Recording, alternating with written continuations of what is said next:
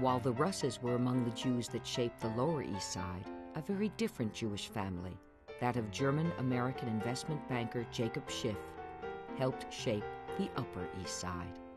He came to America as a place that was freer and more flexible and a place where he could establish himself.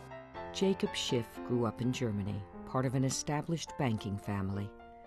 In the 1870s, he was recruited to join Kuhn Loeb, a growing Jewish firm in lower Manhattan. He may have left Germany uh, because he felt they were too strict, but he brought some of that strictness with him nonetheless. Within the family, um, I mean, he was pretty, pretty feared. Schiff's austere personality and intense work ethic were well suited to New York in the era of the Industrial Revolution. Kuhn Loeb, whose early work in New York involved financing small Jewish businesses, quickly grew to be one of the major investment banks in America. There were other Jewish firms as well Goldman Sachs, Lehman Brothers, Lazard Frere, and more grew into Wall Street giants.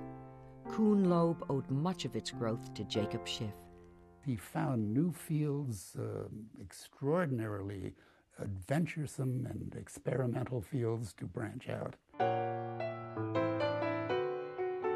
Schiff found investors for risky new ventures like Bethlehem Steel and American Telephone and Telegraph. The biggest experiment of all raising European capital for America's railroads. It wasn't a, a, given that this was going to work. It no. wasn't a given that railroads were then going to be subsequently used and that all of this shipping of goods and services to the West was going to meet with some sort of demand out there. And so going around to Europe and telling people that they should put their hard earned money into railroad bonds was really no simple task at all. But Jacob Schiff succeeded. Most of the great American railroads owed their first underwriting to the Kuhn Loeb. I don't think I even can call it a firm, the Empire. And its emperor became one of the wealthiest men in New York, moving to a Fifth Avenue mansion near other German Jewish aristocrats. The group called themselves Our Crowd. Many members of the crowd were horrified by the wave of Jewish refugees fleeing the Russian pogroms who began pouring into New York in the 1880s and 90s. Initially, Jacob Schiff felt the same way. He was a snob in his first reaction to the tidal wave of East European immigration. He thought that these people would significantly affect the status and acceptance that the German Jews had won for themselves in the United States. But it is, I think, to his credit that he began to see through that much more quickly than people of his generation or his background. He was willing to inject himself personally and take on the burden um, of, uh, of standing tall, so to speak, and, uh, and helping. When politicians coddled the Russian regimes which encouraged pogroms, Schiff threatened to stop financing their campaigns. In a meeting at the White House in 1908, he upbraided President Taft for supporting a Russian American trade treaty.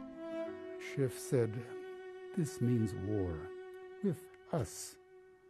And he stormed out of the Oval Office.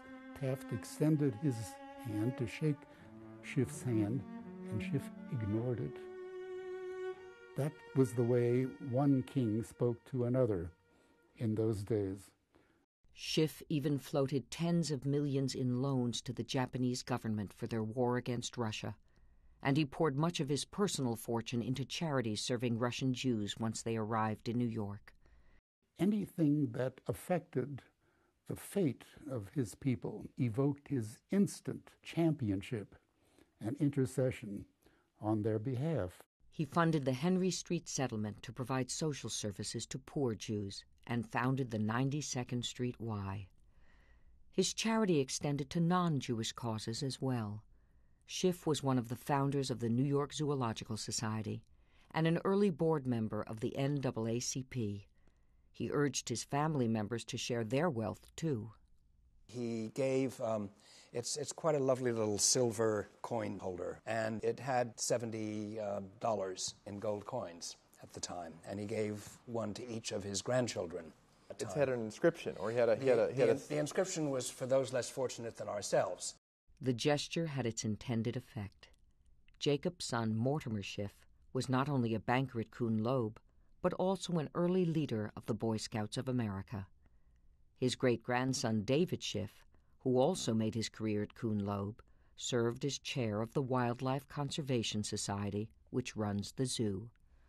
Drew Schiff, a doctor and venture capitalist, sits on the board of the Henry Street Settlement, the charity founded by his great great grandfather. Henry Street, while it started off being mainly to help Jews, Yeah. um, within one or two decades, as I recall, it was much more than Jews. It was all people who needed that kind of help.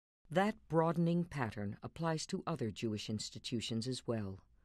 The Bloomingdale's brothers started out selling cheap clothing, schmatas, to Lower East Siders before their business grew into one of the world's great department stores.